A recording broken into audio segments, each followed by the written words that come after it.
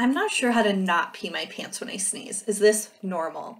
No, this is not normal. Let's learn about something called the knack. So it's a really simple phrase and technique you can use to help stop bladder leaks with things like coughing and sneezing. So it's just a squeeze before you sneeze. So what that means is when you feel a sneeze or a cough coming on, you'll quickly squeeze your pelvic floor muscles, hold them, cough or sneeze, let them go and relax.